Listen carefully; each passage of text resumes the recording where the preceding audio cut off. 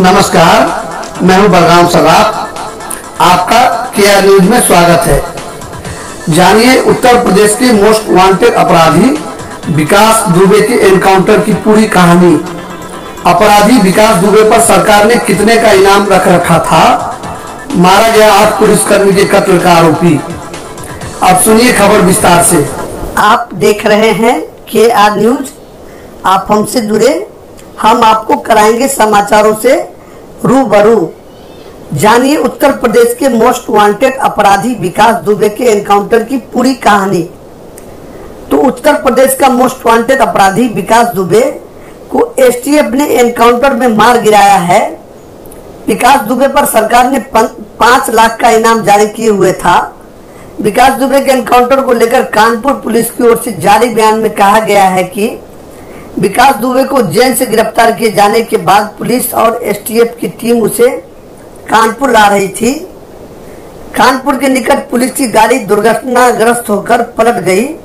इसमें विकास दुबे और चार पुलिसकर्मी भी घायल हो गए।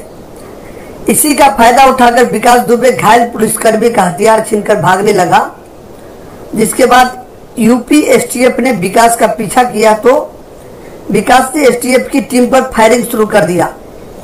फिर यूपी एसटीएफ ने भी जवाबी फायरिंग की और उसे सरेंडर करने को कहा। लेकिन विकास ने नहीं माना। इसके बाद यूपी एसटीएफ के कमांडो ने सेल्फ डिफेंस में विकास दुबे को मार गिराया। आप देख रहे हैं के न्यूज़ के न्यूज़ चैनल को प्लीज़ लाइक सब्सक्राइब तथा इसे अन्य ग्रुप पे भी फॉरवर्ड करें। आपके फॉरवर्ड करने से ही बढ़ेगा हमारा हौसला। अब आगे सुनिए समाचार। कानपुर पुलिस के मुताबिक पुलिस टीम द्वारा पीछा कर उसे घेर कर आत्मसमर्पण करने के लिए कहा गया था, लेकिन विकास ने नहीं माना और पुलिस टीम पर फायर करने लगा।